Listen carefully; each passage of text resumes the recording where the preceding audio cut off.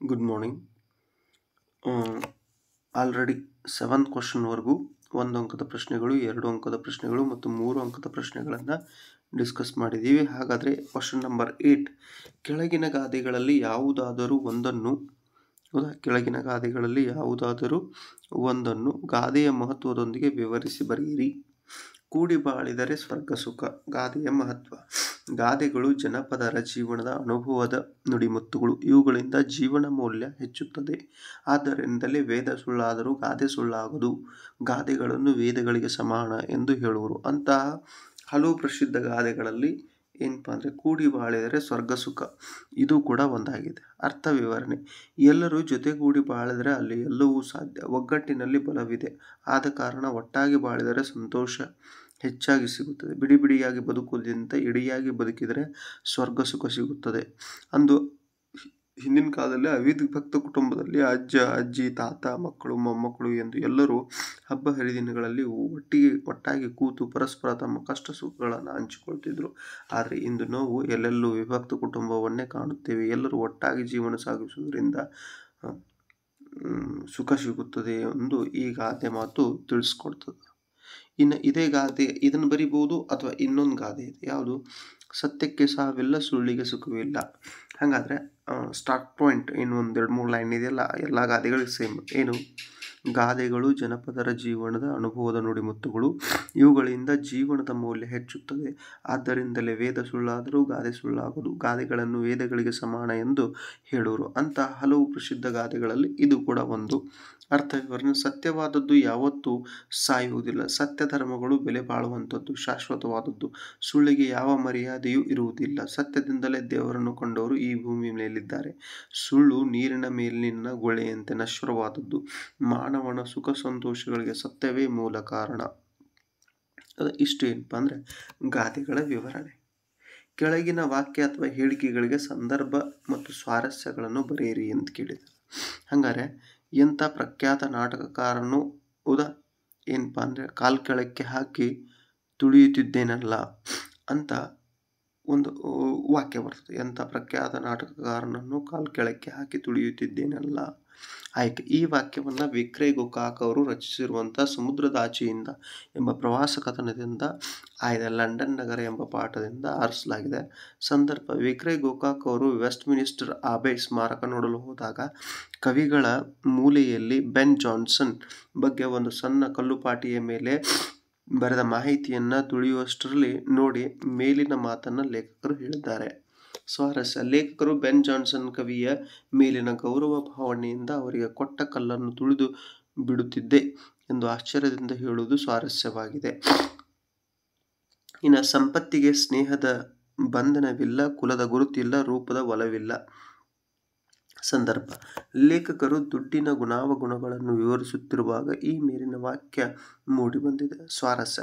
ದುಡ್ಡು ಒಳ್ಳೆಯ ಲಕ್ಷಣವಂತನನ್ನೇ ಆಶ್ರಯಿಸುತ್ತದೆ ಎಂಬ ನಿಯಮವಿಲ್ಲ. ಅದರ ಚಾಪಲ್ಯಕ್ಕಂತೂ ಮಿತಿಯೇ ಇಲ್ಲ. ಅದು ಗಂಧರ್ವ ನಗರದಂತೆ ಕಾಣುತ್ತಿದ್ದಂತೆಯೇ ಕರಗಿಬಿಡುತ್ತದೆ ಎಂಬುದು ಸ್ವಾರಸ್ಯಪೂರ್ಣವಾಗಿದೆ. ಕ್ವಶನ್ ನಂಬರ್ ಥರ್ಟಿ ಫೈವ್ ಚಿನ್ನವಿಲ್ಲದೆ ಬದುಕಬಹುದು, ಅನ್ನವಿಲ್ಲದೆ ಬದುಕಲಾದಿತೆ. ಆಯ್ಕೆ. ಈ ಮೇಲಿನ ವಾಕ್ಯವನ್ನು ಶತಾವಧಾನಿ ಡಾಕ್ಟರ್ ಆರ್. ಗಣೇಶ್ ಅವರು ಬರೆದಿರುವ ಶ್ರೇಷ್ಠ ಭಾರತೀಯ ಚಿಂತನೆಗಳು ಎಂಬ ಗದ್ಯಭಾಗದಿಂದ ಆರಿಸಲಾಗಿದೆ. ಸಂದರ್ಭ. ಯಜ್ಞ ಸಂಸ್ಕೃತಿಯು ಒಂದು ಅನುಷ್ಠಾನ ಅಗ್ನಿಯಲ್ಲಿ ಯಾವುದಾದರೂ ಆಹಾರ ಪದಾರ್ಥಗಳನ್ನು ಹಾಕಿದರೆ ಅದನ್ನು ಮತ್ತೆ ಪಡೆದುಕೊಳ್ಳಲು ಸಾಧ್ಯವಿಲ್ಲ ಎಂಬುದು ಎಲ್ಲರಿಗೂ ತಿಳಿದ ಸತ್ಯ ವಸ್ತುಸ್ಥಿತಿ ಹೀಗಿದ್ದರೂ ಅದನ್ನು ಮಾಡುವುದಾದರೆ ತನಗೆ ಮರಳಿ ಬರುವುದೆಂಬ ಯಾವುದೇ ನಿಶ್ಚಯ ಇಲ್ಲದಿದ್ದರೂ ಕೊಡಬೇಕೆಂಬ ಜೀವನ ಪಾಠದ ಕಲಿಕೆ ತಾನೆ. ಮನುಷ್ಯ ಏನು ಅನ್ನಗತ ಪ್ರಾಣ ಎಂಬ ವೇದ ಹೇಳಿದೆ ಅನ್ನಗ್ರತ ಪ್ರಾಣ ಎಂದು ಹೇಳಿದೆ. ಅನ್ನವಿಲ್ಲದೆ ಬದುಕಲಾದೀತೆ ಎಂದು ಲೇಖಕರು ಹೇಳಿದ್ದಾರೆ. ಸ್ವಾರಸ್ಯ.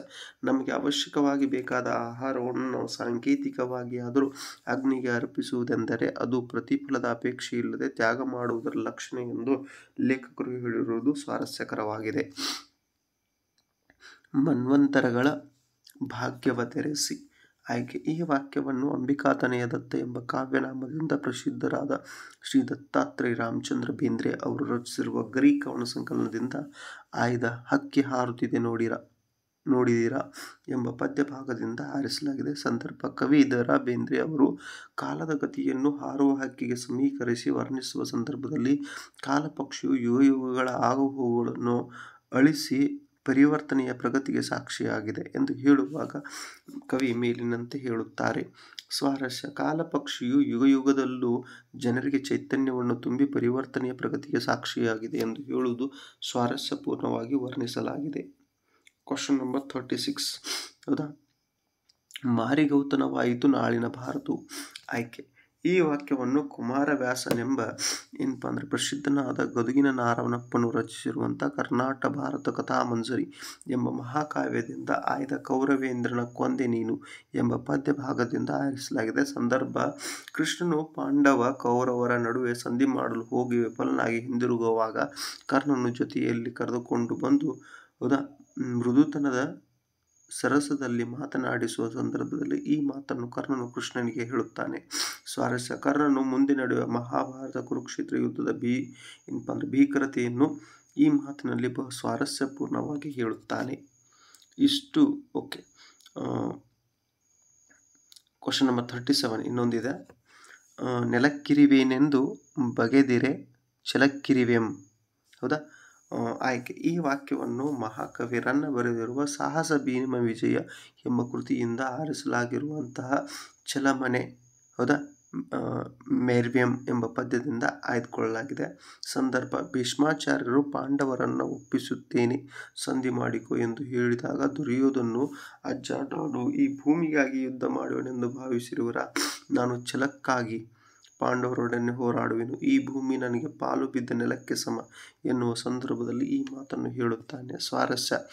ದುರ್ಯೋಧನನು ಈ ಮಾತಿನಲ್ಲಿ ನಶ್ವರವಾದ ಅಸುರತನಕ್ಕಿಂತ ಛಲದಿಂದ ಬಾಳುವುದೇ ನಿಜವಾದ ಕ್ಷತ್ರಿಯನ ಗುಣ. ಸಂಧಿ ಮಾಡಿಕೊಳ್ಳುವುದು ಹೇಡಿತನದ ಲಕ್ಷಣ ಎಂಬ ಧ್ವನಿ ಸ್ವಾರಸ್ಯಪೂರ್ಣವಾಗಿ ಮೂಡಿಬಂದಿದೆ. ಇನ್ನು ನೆಕ್ಸ್ಟ್ ಕ್ವಶನ್ ಏನಪ್ಪ ಅಂದರೆ ಕೆಳಗಿನ ಪದ್ಯವನ್ನು ಪೂರ್ಣಗೊಳಿಸಿ ಅಂತ ನಾಲ್ಕು ಅಂಕಕ್ಕೆ ಒಂದು ಪ್ರಶ್ನೆ ಇದೆ. ಎರಡು ಪದ್ಯಗಳನ್ನು ಕೊಟ್ಟಿದ್ದಾರೆ. ಅದರಲ್ಲಿ ಯಾವುದಾದ್ರೂ ಒಂದನ್ನು ಬರೆದ್ರೆ ಸಾಕಾಗುತ್ತೆ. ಹಾಗಾದರೆ ಕಲುಷಿತವಾದಿ ನದಿ ಜಲಗಳಿಗೆ ಮುಂಗಾರಿನ ಮಳೆಯಾಗೋಣ, ಬರಡಾಗಿರುವಿ ಕಾಡು ಮೇಡುಗಳ ವಸಂತವಾಗುತ್ತಾ ಮುಟ್ಟೋಣ ಅಂತ ನಾಲ್ಕು ಲೈನ್ ಬರೆಯೋದಿದೆ. ಇದಕ್ಕೆ ನಾಲ್ಕು ಅಂಕ ಅಥವಾ ಮತಗಳೆಲ್ಲೋ ಪಥಗಳು ಎನ್ನುವ ಹೊಸ ಎಚ್ಚರದೊಳು ಬದುಕೋಣ. ಭಯ ಸಂಶಯದೋಳ್ ಕಂದಿದ ಕಣ್ಣೋಳ್, ಕಣ್ಣೋಳು ನಾಳಿನ ಕನಸು ಬಿತ್ತೋಣ. ಈ ನಾಲ್ಕು, ಎರಡರಲ್ಲಿ ಯಾವುದರ ಏನು ಪದ್ಯಗಳಲ್ಲಿ ಒಂದನ್ನು ಬರೆದ್ರೆ ನಾಲ್ಕು ಅಂಕ ಇನ್ನು ಕೆಳಗಿನ ಪದ್ಯ ಭಾಗದ ಸಾರಾಂಶ ಅದರಲ್ಲಿ ಅಡಕವಾಗಿರೋ ಮೌಲ್ಯದೊಂದಿಗೆ ಬರೀರಿ ಅಂತ ಹೇಳಿದ್ದಾರೆ ಹಂಗಾರೆ ನಾಲ್ಕು ಲೈನ್ ಹಳೆಗನ್ನಡದ ಪದ್ಯ ಇದೆ. ಆ ಪದ್ಯದ ಸಾರಾಂಶ, ಹೌದಾ? ನೋಡೋಣ. ಈ ಪದ್ಯವನ್ನು ರನ್ನ ಬರೆದಿರುವಂಥ ಸಾಹಸ ಭೀಮ ವಿಜಯ ಎಂಬ ಕೃತಿಯಿಂದ ಆರಿಸಲಾಗಿರುವಂಥ ಛಲಮನೆ, ಹೌದಾ? ಮೇರ್ವ್ಯಂ. ಎಂಬ ಪದ್ಯ ಭಾಗದಿಂದ ಆರಿಸಿಕೊಳ್ಳಲಾಗಿದೆ. ಸಾರಾಂಶ. ಪರಶುರಾಮನು ದ್ರೋಣನನ್ನು ಕುರಿತು ತನ್ನ ಆಸ್ತಿಯನ್ನು ಬೇಡ ಬೇಡದವರಿಗೆ ಕೊಟ್ಟೇನು. ಭೂಮಂಡಲವನ್ನು ಗುರುವಿಗೆ ಕೊಟ್ಟೇನು. ಈಗ ನನ್ನಲ್ಲಿ ಒಂದು ಅಡಕೆಯೂ ಇಲ್ಲ. ಹೌದಾ? ಬೇಡುವನಾದರೂ ವೇದಶಾಸ್ತ್ರ ಪಾರಂಗತನೋ ಹೇಗೆ? ಅವನನ್ನು ಸಂತೋಷಪಡಿಸಲಿ. ಹೌದಾ? ಎಲೈ ದ್ರೋಣನೆ, ಈಗ ಇದೊಂದು ಬಿಲ್ಲು ಇದೆ. ಇದೊಂದು ದಿವ್ಯಾಸ್ತ್ರಗಳ ಸಮೂಹವೂ ಇದೆ. ಬೇರೆ ಆಸ್ತಿ ಇಲ್ಲ. ಇವುಗಳಲ್ಲಿ ನಿನಗೆ ಯಾವುದನ್ನು ಕೊಡಲಿ? ಚೆನ್ನಾಗಿ ಯೋಚಿಸಿ ಹೇಳು ಎಂದು ಹೇಳಿದನು. ಅಡಕವಾಗಿರೋ ಮೌಲ್ಯಗಳು ಪರಶುರಾಮನ ದಾನಗುಣ ಮಾತುಗಳು ಮೌಲ್ಯಯುತವಾಗಿವೆ, ಮೂಡಿಬಂದಿವೆ. ಹೌದಾ? ಇನ್ನು ಕ್ವಶನ್ ನಂಬರ್ ಟ್ವೆಲ್ ಲೆವೆನ್ ಆಯಿತು. ಟ್ವೆಲ್ ಕೆಳಗಿನ ಪ್ರಶ್ನೆಗಳಿಗೆ ಎಂಟತ್ತು ವಾಕ್ಯಗಳಲ್ಲಿ ಉತ್ತರ ಬರೆಯಿರಿ. ಹೌದಾ? ಹಂಗಾರೆ ಆದರ್ಶ ವ್ಯಕ್ತಿಯ ದೋಷರಹಿತನಾಗಿರಬೇಕಾದದ್ದು ಮುಖ್ಯ ಏಕೆ? ನಮ್ಮಿಂದ ಎಂದೂ ದೂರವಾಗದಂತಹ ಹಾಗೂ ನಾವು ಆತನಿಂದ ದೂರ ಹೋಗದಂತಹ ವ್ಯಕ್ತಿಯೇ ನಮ್ಮ ಆದರ್ಶ ಆಗಬಲ್ಲನು ನಾವು ಯಾರನ್ನು ಸದ್ಗುಣಗಳ ಸಾಕಾರ ಸ್ವರೂಪವೆಂದು ಏನು ಸರ್ವಥ ಪ್ರಮಾದಾತೀತನೆಂದು ಭಾವಿಸುವೆವು ಆ ವ್ಯಕ್ತಿಯೇ ನಮ್ಮ ಆದರ್ಶವಾಗಬಲ್ಲ. ಇಲ್ಲವಾದಲ್ಲಿ ಆದರ್ಶವೆಂದು ಭಾವಿಸಲ್ಪಟ್ಟ ವ್ಯಕ್ತಿಯಿಂದ ಏನಾದರೂ ತಪ್ಪು ತಪ್ಪಾದರೆ ನಾವು ಬೇರೊಬ್ಬನನ್ನು ಹುಡುಕಬೇಕಾಗುತ್ತದೆ. ಆ ಎರಡವನಲ್ಲಿ ದೋಷ ಕಂಡು ಬಂದರೆ ಅವನ ಬಗ್ಗೆ ಇರುವ ಶ್ರದ್ಧೆ ಸಹ ಹಾರಿ ಹೋಗುವುದು ಸ್ವಾಭಾವಿಕ. ಆಗ ಪುನಃ ನಾವು ಮೂರನೆಯ ವ್ಯಕ್ತಿಯನ್ನು ಹುಡುಕುವಂತೆ ಆದೀತು. ಹೀಗಾದರೆ ನಿತ್ಯವೂ ಹೊಸ ಹೊಸ ವ್ಯಕ್ತಿಯನ್ನು ಆದರ್ಶಕ್ಕಾಗಿ ಹುಡುಕುತ್ತಾ ಹೊರಡಬೇಕಾಗುತ್ತದೆ. ಆದರ್ಶ ವ್ಯಕ್ತಿಯನ್ನು ಕುರಿತು ಯೋಚಿಸುವಾಗ ದೋಷರಹಿತ ವ್ಯಕ್ತಿಯನ್ನು ಆರಿಸುವುದಷ್ಟೇ ಅಲ್ಲದೆ ನಾವು ಆದರ್ಶವೆಂದು ಭಾವಿಸುವ ಎಲ್ಲ ಗುಣಗಳು ಆ ವ್ಯಕ್ತಿಯಲ್ಲಿರಬೇಕು. ಯಾರ ಜೀವನ ಕುಸುಮವು ಪ್ರಸನ್ನವಾಗಿ ಪೂರ್ತಿಯಾಗಿ ಅರಳಿದೆಯೋ, ಅಲಂಕಾರಕವಾಗಿದೆಯೋ ನಿರ್ಬಡೆ ನಿರ್ಬಿಡಿಯಿಂದ ಸೂರ್ಯಪ್ರಕಾಶಕ್ಕೆ ಮುಖ ಮಾಡಿ ನಿಂತಿದೆಯೋ, ಯಾರ ದೇಹವು ಶಾಶ್ವತ ಸತ್ಯವಾಗಿದೆಯೋ, ಅಂತಹ ವ್ಯಕ್ತಿಯನ್ನು ನಾವು ಆದರ್ಶವಾಗಿ ಸ್ವೀಕರಿಸಬೇಕು. ತಿಲಕರು ಮತ್ತು ಶಿವಾಜಿಯರನ್ನು ಜನ ಹೇಗೆ ಸ್ವೀಕರಿಸಿದ್ದಾರೆ? ಈ ಬಗ್ಗೆ ಲೇಖಕರು ಯಾವ ಅಭಿಪ್ರಾಯ ತಳೆದಿದ್ದಾರೆ? ಶಿವಾಜಿ ಮತ್ತು ಲೋಕಮಾನ್ ತಿಲಕರನ್ನು ಸ ಅವತಾರಿಗಳ ಪಟ್ಟಿಗೆ ಹಾಕಲಾಗಿದೆ. ಶಿವಾಜಿಯನ್ನು ಶ್ರೀ ಶಂಕರರ ಅವತಾರವೆಂದು ಹೇಳಲಾಗುತ್ತದೆ. ಶಿವಚರಿತ್ರೆಯಲ್ಲಿ ಇದರ ಸಮರ್ಥನೆಗಾಗಿ ಒಂದು ಉಲ್ಲೇಖವನ್ನು ಸೇರಿಸಲಾಗಿದೆ. ತಿಲಕರು ನಮ್ಮ ಕಾಲದಲ್ಲೇ ಆಗಿ ಹೋದ ನಾಯಕರು. ಅವರನ್ನು ಒಂದು ಚಿತ್ರದಲ್ಲಿ ಚತುರ್ಭುಜರನ್ನಾಗಿ ಮಾಡಿ ಕೈಗಳಲ್ಲಿ ಶಂಖ, ಚಕ್ರ, ಗದೆ, ಪದ್ಮಗಳನ್ನು ಕೊಡಲಾಗಿತ್ತು. ಈ ರೀತಿ ನಮ್ಮ ಮಹಾಪುರುಷರನ್ನು ದೇವತೆಗಳ ಶ್ರೇಣಿಗೆ ತಳ್ಳುವುದು ತಳ್ಳುವುದು ನಿಜಕ್ಕೂ ಅದೆಷ್ಟು ವಿಚಿತ್ರ ಎಂಬ ಅಭಿಪ್ರಾಯವನ್ನು ತಳೆದಿದ್ದಾರೆ. ಕ್ವಶನ್ ನಂಬರ್ ಫಾರ್ಟಿ ಟು ಹಲಗಲಿ ದಂಗೆಗೆ ಕಾರಣವೇನು? ಬ್ರಿಟಿಷರು ಅದನ್ನು ಹೇಗೆ ನಿಯಂತ್ರಿಸಿದರು? ಹದಿನೆಂಟುನೂರ ಐವತ್ತೇಳರ ಸಿಪಾಯಿ ದಂಗೆ ಅಥವಾ ಭಾರತ ಪ್ರಥಮ ಸ್ವಾತಂತ್ರ್ಯ ಸಂಗ್ರಾಮದ ನಂತರ ಬ್ರಿಟಿಷರು ನಿಶಸ್ತ್ರೀಕರಣ ಕಾಯಿದೆಯನ್ನು ಜಾರಿಗೆ ತಂದರು. ಅದರ ಪ್ರಕಾರ ಭಾರತೀಯರು ಬ್ರಿಟಿಷರ ಅನುಮತಿ ಇಲ್ಲದೆ ಆಯುಧಗಳನ್ನು ಹೊಂದುವ ಹಾಗಿರಲಿಲ್ಲ ಮತ್ತು ಈಗಾಗಲೇ ಹೊಂದಿರುವ ಆಯುಧಗಳನ್ನು ಮರಳಿಸಬೇಕಿತ್ತು. ಹಲಗಲಿ ಬೇಡಗರಿಗೆ ಆಯುಧಗಳೇ ಜೀವವಾಗಿತ್ತು. ಆಯುಧಗಳನ್ನು ಮರಳಿಸಲು ಒಪ್ಪದ ಹಲಗಲಿ ಬೇಡರು ಹನುಮ, ಬಾಲ, ಜಡಗ, ರಾಮರ ನೇತೃತ್ವದಲ್ಲಿ ಕಂಪನಿ ಸರ್ಕಾರದ ವಿರುದ್ಧ ದಂಗೆ ಎಂದರು ಸಿಪಾಯಿಗಳ ಕೆನ್ನೆಗೆ ಬಾರಿಸಿದರು. ಮೊನವೊಲಿಸಲು ಬಂದ ಹೆಬ್ಲಕ್ ಎಂಬ ಅಧಿಕಾರಿಯನ್ನು ಕೊಂದರು. ಕೋಪಗೊಂಡ ಕಂಪನಿಯ ಸರ್ಕಾರ ಬೇಡರನ್ನು ಏನು ಕಂಡಕಂಡಲ್ಲಿ ಸಾಯಿಸಿತು. ಬೇಡರ ಮುಖಂಡರನ್ನು ನಿರ್ದಾಕ್ಷಿಣ್ಯವಾಗಿ ಹತ್ಯೆಗೈಯಲಾಯಿತು. ಹಲಗಲಿಯವರನ್ನು ಲೂಟಿ ಮಾಡಿ ಬೆಂಕಿ ಹಚ್ಚಲಾಯಿತು. ಹೇಗೆ ಹಲಗಲಿಯ ದಂಗೆಯನ್ನು ಹೀಗೆ ಹಲಗಲಿಯ ದಂಗೆಯನ್ನು ಸರ್ಕಾರ ಏನು ಮಾಡಿತಪ್ಪ ಅಂದರೆ ನಿಯಂತ್ರಿಸಿತು. ಅಥವಾ ಹಲಗಲಿ ದಂಗೆಯ ಪರಿಣಾಮವೇನು? ಕಂಪನಿ ಸರ್ಕಾರ ಹೊರಡಿಸಿದಂಥ ನಿಶಸ್ತ್ರೀಕರಣದ ಆದೇಶವನ್ನು ವಿರೋಧಿಸಿ ತಮ್ಮಲ್ಲಿರುವ ಆಯುಧಗಳನ್ನು ಕೊಡಲು ಒಪ್ಪದೇ ದಂಗೆ ಎದ್ದ ಹಲಗಲಿಯ ಬೇಡರನ್ನು ಬಗ್ಗು ಬಡಿಯಲು ಬ್ರಿಟಿಷ್ ಸರ್ಕಾರದ ದಂಡು ತಯಾರಾಗಿ ಹಲಗಲಿಗೆ ಬಂದಿತ್ತು. ಬ್ರಿಟಿಷ್ ದಂಡಿನ ಸಿಪಾಯಿಗಳು ಹಲಗಲಿಯ ಬೇಡರನ್ನು ಬೆನ್ನತ್ತಿ ಬೆನ್ನತ್ತಿ ತಿರುವಿ ತಿರುವಿ ತಿರುತಿರುವಿ ಕೊಂದರು. ಬೇಡರನ್ನು ದಂಡಿನ ಮಧ್ಯೆ ಹಾಕಿಕೊಂಡು ಕರುಣೆ ಇಲ್ಲದೆ ಹಾಗೆ ಗುಂಡು ಹೊಡೆದು ಸಾಯಿಸಿದರು. ಕೆಲವು ಬೇಡರು ತಪ್ಪಿಸಿಕೊಂಡು ಗುಡ್ಡದ ಕಡೆ ಓಡಿದರು. ಅಗಸಿಗೆ ಬಂದು ಬುದ್ಧಿ ಮಾತನ್ನು ಹೇಳುತ್ತಿದ್ದ ಹೆಬ್ಲಕ್ ಸಾಹೇಬನು ಜಡಗ ಗುಂಡು ಹೊಡೆದು ಕೊಂದು ಹಾಕಿದನು.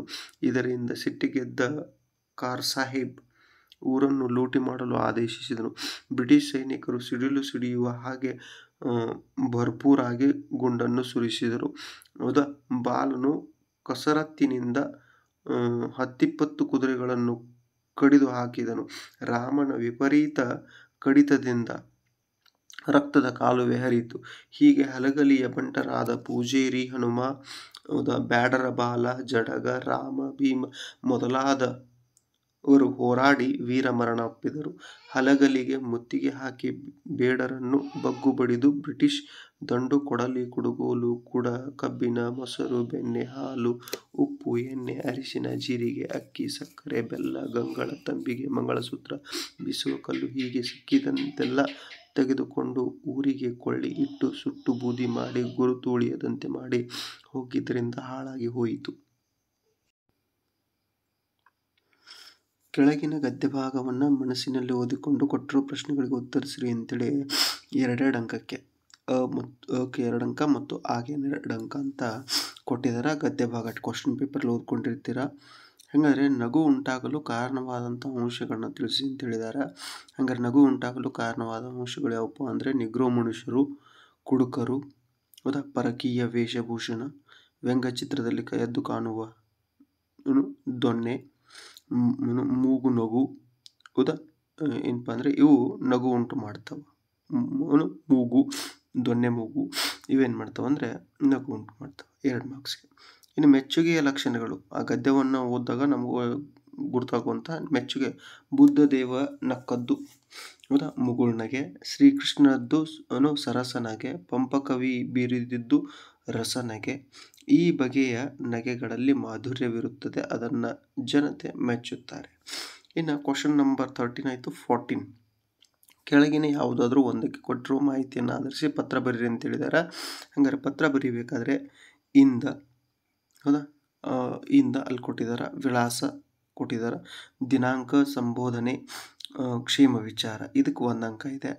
ಪತ್ರದ ಒಡಲು ವಿಷಯ ನಿರೂಪಣೆ, ಇದಕ್ಕೆ ಎರಡು ಅಂಕ ಇದೆ. ಮುಕ್ತಾಯ, ಹೌದಾ? ಇಂತಿ ನಿಮ್ಮ ಅಂತ ಬರಿತೀವಲ್ಲ, ಅದಕ್ಕೆ ಇಂತಿ, ಸಹಿ ಹೊರ ವಿಳಾಸ ಇದಕ್ಕೆ ಒಂದು ಅಂಕ ಇದೆ. ಆಮೇಲೆ ಭಾಷಾ ಶೈಲಿಗೆ ಪದ ಬಳಕೆ ಮತ್ತು ವಿನ್ಯಾಸ. ಇದಕ್ಕೆ ಬಂದಂಗೆ ಇದೆ ಟೋಟಲ್ ಐದು ಅಂಕದ ಪತ್ರ. ಟೋಟಲ್ ಐದು ಅಂಕಕ್ಕೆ ಪತ್ರ. ಅಥವಾ ಇಂದ ಗೆ ಸಂಬೋಧನೆ ವಿಷಯ ಎರಡನೇ ಅಥವಾ ಅಂತ ಕೊಟ್ಟಿದ್ದಾರೆ ಅಲ್ಲಿ ಪತ್ರದ ಒಡಲು. ಇಂದಾಗೆ ಸಂಬೋಧನೆ ವಿಷಯಕ್ಕೆ ಒಂದು ಅಂಕ. ಪತ್ರದ ಒಡಲು ವಿಷಯ ನಿರೂಪಣೆಗೆ ಎರಡು ಅಂಕ. ವಂದನೆಯೊಂದಿಗೆ ಮುಕ್ತಾಯ, ಇಂತಿ, ಸ್ಥಳ, ದಿನಾಂಕ ಇದಕ್ಕೊಂದು ಅಂಕ. ಭಾಷಾ ಶೈಲಿ ಮತ್ತು ಪದ ಬಳಕೆ ವಿನ್ಯಾಸ ಇದಕ್ಕೊಂದು. ಟೋಟಲ್ ಎಷ್ಟು? ಐದು ಅಂಕ. ಇನ್ನು ಇದಾದ ನಂತರ ಮತ್ತೆ ಐದು ಅಂಕಕ್ಕೆ ಮತ್ತೊಂದು ಪ್ರಶ್ನೆ ಇದೆ. ರಾಷ್ಟ್ರೀಯ ಹಬ್ಬಗಳ ಮಹತ್ವ, ರಾಷ್ಟ್ರೀಯ ಹಬ್ಬಗಳ ಮಹತ್ವ, ಆಮೇಲೆ ರಾಷ್ಟ್ರೀಯ ಪೋಷಣ ಅಭಿಯಾನ, ಇವುಗಳ ಕುರಿತಂತೆ ಏನಪ್ಪ ಅಂದರೆ ಹದಿನೈದು ವಾಕ್ಯಗಳಿಗೆ ಕಡಿಮೆ ಇಲ್ಲದಂತೆ ಬರ್ರಿ ಅಂತ ಹೇಳಿದ್ದಾರೆ. ಹಂಗಾರೆ ಇಲ್ಲೂ ಕೂಡ ಏನು ಪ್ರಸ್ತಾವನೆ ಅಥವಾ ಪೀಠಿಕೆ ಅಥವಾ ವಿಷಯ ಪ್ರವೇಶ ಇದಕ್ಕೆ ಒಂದು ಅಂಕ, ಒಡಲು ಸಮರ್ಥನೆ ವಿವರಣೆಯೊಂದಿಗೆ ವಿಷಯಕ್ಕೆ ಎರಡು ಅಂಕ, ಇನ್ನು ಉಪಸಂಹಾರ ಮುಕ್ತಾಯ ಅಂತ ಕರಿತೀವಲ್ಲ, ಅದಕ್ಕೆ ಒಂದು ಅಂಕ. ಭಾಷಾ ಶೈಲಿ ಮತ್ತು ಪದ ಬಳಕೆಗೆ ಒಂದು ಅಂಕ. ಟೋಟಲ್ ಎಷ್ಟು? ಐದು ಅಂಕ. ಹೌದಾ? ಈ- ಹತ್ತು ಐದು ಐದು ಅಂಕದ ಪ್ರಶ್, ಪತ್ರ ಮತ್ತು ರಾಷ್ಟ್ರೀಯ ಹಬ್ಬಗಳನ್ನು ಹೆಚ್ಚು ವಿವರಣೆ ನೀಡಿಲ್ಲ, ಆದರೆ ನೀವೇ ಬರೀತೀರಾ? ಅಂದ್ಕೊಂಡು ಯಾವ್ಯಾವಕ್ಕೆ ಎಷ್ಟೆಷ್ಟು ಅಂಕ ಇರ್ತದೆ ಅನ್ನೋದನ್ನು ಹೇಳುವಂಥ ಪ್ರಯತ್ನ ಆಗಿದೆ. ಓಕೆ. ಇಷ್ಟು ಏನಪ್ಪ ಅಂದರೆ, ರಾಜ್ಯ ಮಟ್ಟದ ಪೂರ್ವಸಿದ್ಧತಾ ಪರೀಕ್ಷೆಯ ಕನ್ನಡ ಪತ್ರಿಕೆಯ ವಿಶ್ಲೇಷಣೆ. ಹೌದಾ? ಹೋಪ್ಫುಲಿ ಒಂದು ಸಲ ಇದನ್ನು ನೀವು ಆಡಿಯೋ ನೋಟ್ಸ್ ಥರ ಕೇಳೋದ್ರಿಂದ ನಿಮ್ಮ ಎಕ್ಸಾಮ್ಗೆ ಹೆಲ್ಪ್ಫುಲ್ ಆಗ್ತದೆ ಅನ್ನೋಂಥ ದೃಷ್ಟಿಯಿಂದ ಈ ವಿಡಿಯೋನ ಮಾಡಿದ್ದೀನಿ. ಆಮೇಲೆ ಕೆಲವು ವಿದ್ಯಾರ್ಥಿಗಳು, ನಾನು ವಿಜ್ಞಾನ ಶಿಕ್ಷಕನಾಗಿದ್ದು ಕೆಲವು ವಿದ್ಯಾರ್ಥಿಗಳು ಏನು ಮಾಡಿದ್ರಪ್ಪ ಅಂದರೆ ನನಗೆ ಮೆಸೇಜ್ ಕಳಿಸಿದ್ರಿ ಸರ್ ಎಲ್ಲ ಪ್ರಶ್ನೆ ಪತ್ರಿಕೆಗಳ ಏನು ಮಾಡ್ರಿ ಅಂದರೆ ವಿಶ್ಲೇಷಣೆಯನ್ನು ಮಾಡಿರಿ? ಅಟ್ಲೀಸ್ಟ್ ನಮ್ಗೆ ಆನ್ಸರ್ ಸಿಗೋ ಹಾಗೆ ಮಾಡಿರಿ ಅಂತ ಹೇಳಿದ್ರಿ. ಅದಕ್ಕೆ ಸಂಬಂಧಪಟ್ಟಂತೆ ನಾನು ಈ ಪ್ರ- ಪ್ರಶ್ನೆ ಪತ್ರಿಕೆಯನ್ನು ಬಿಡಿಸುವಂಥ ಕೆಲಸ ಮಾಡಿದ್ದೆ. Thank you thank you so much